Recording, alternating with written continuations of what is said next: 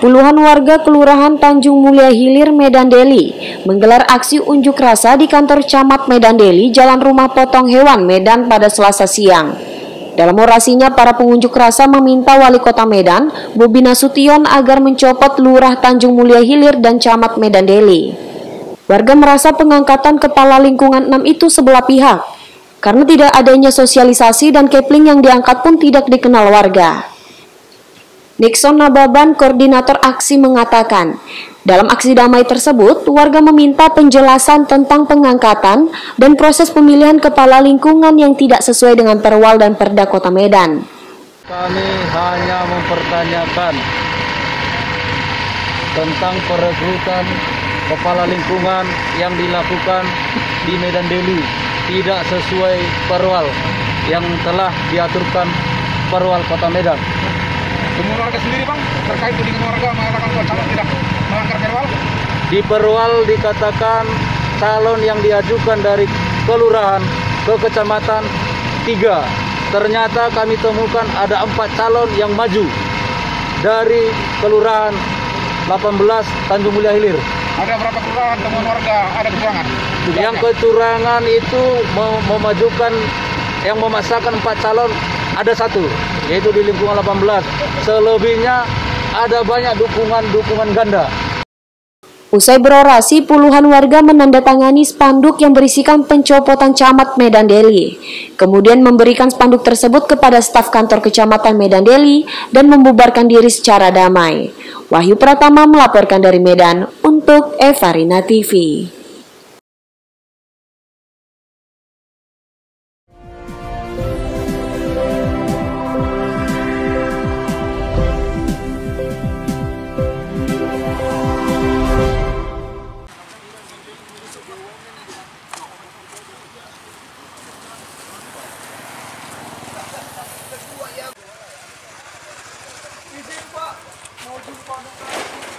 Beginilah aksi Wakil Wali Kota 2 DPRD Kota Tebing Tinggi Iman Irdian Saragi saat melakukan inspeksi mendadak di kantor Waskita Jalan AMD Kecamatan Bajanis Kota Tebing Tinggi.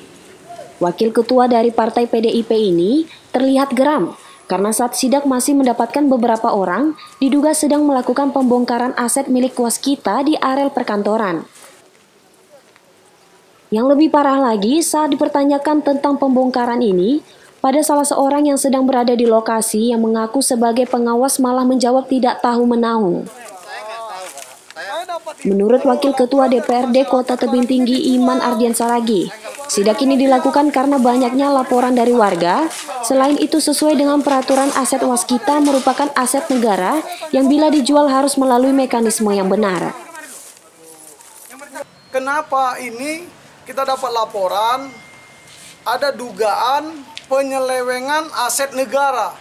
Jadi kita juga dapat laporan beserta bukti-buktinya, data-datanya dari pihak PT Waskita diduga bersama rekanannya menjual aset negara.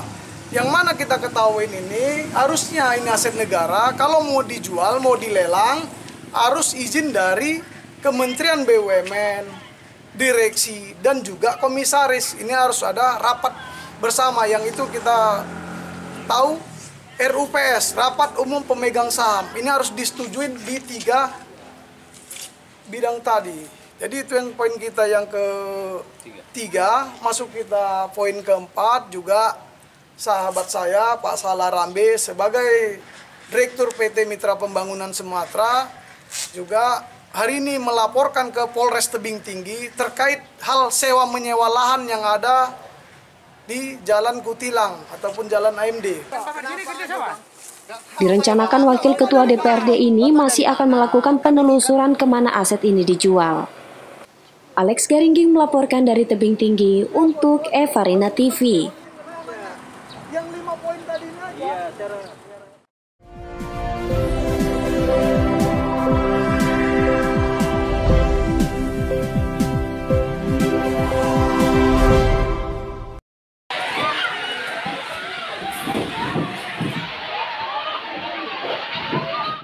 Beginilah suasana kepanikan saat petugas keamanan dan pegawai Rumah Sakit Umum Daerah Dr. Mansur Kota Tanjung Balai memadamkan api di ruang tunggu poli menggunakan racun api.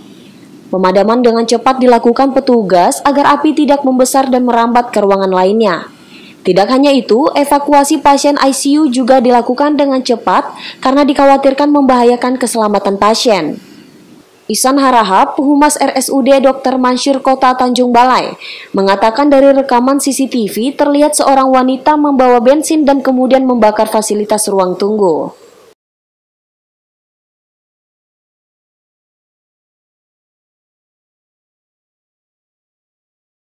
Berdasarkan dari keterangan teman-teman yang lain terkait kenapa dia datang ke rumah sakit, tuntutannya cukup aneh memang karena hari ini yang bersangkutan masih gadis atau berstatus lajang, ya kan? Dia menuntut untuk hamil, uh, menuntut untuk diberikan obat kesuburan dan menuntut untuk bisa diberikan anak kembar.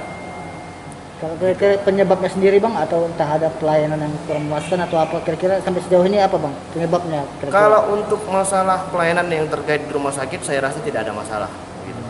Untuk kebakaran sendiri bang apa aja yang terbakar? Yang per hari ini setelah kami cek ya setelah kejadian itu ada meja, bangku dan beberapa status data-data pasien yang sedang melakukan pengobatan di rumah sakit umum.